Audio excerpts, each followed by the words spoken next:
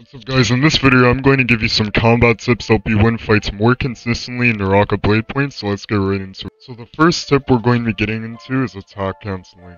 Now this tip is going to be really useful when you're fighting against high level players because a lot of high level players, if you do a basic 3 hit combo, they'll catch on to it and easily parry you, so attack cancelling allows you to like um, bait out a lot of parries and get easy strikes on uh, a lot of players. So in order to attack cancel, you do you you do two attacks and then you crouch before it. You get to the third attack because that's a focus attack. Like so. Let me. So this is how you get. Let me show you guys how to do it.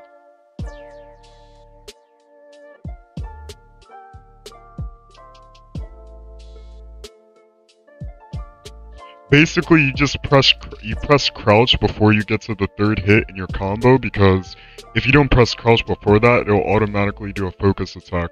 Now, the thing about um, attack canceling is it's, as I said, it's really good for being out parries because a lot of players will expect you to do a third a focus attack after your combo but if you do an attack cancel, that'll throw them off guard and allow you to get an easy strike on. Second tip where I'm going to be getting into is parrying.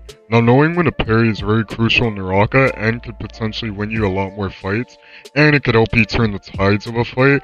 Now typically people, uh, players will go for a third focus attack after their third um strike.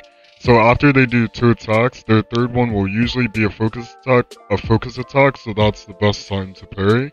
Now obviously this doesn't apply to all players because if the player is more experienced, they'll probably mix up their uh, focus attack timing, so you might have to adjust your strategy based on who you're fighting.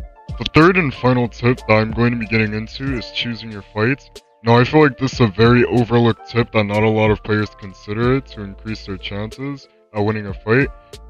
What a lot of people don't realize is that the best fights are the ones that you have the best chances at winning at. So, you know, you should consider your situation, like whether you're low or not, or whether the player has better armor than you.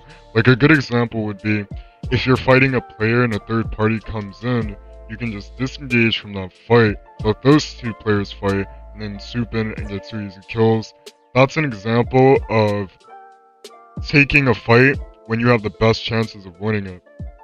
If you guys enjoyed this video. And want to see more Naraka Bladepoint tips and tricks, go watch my other video that gives you some tricks uh, to help improve your movement. Naraka Bladepoint, and peace out.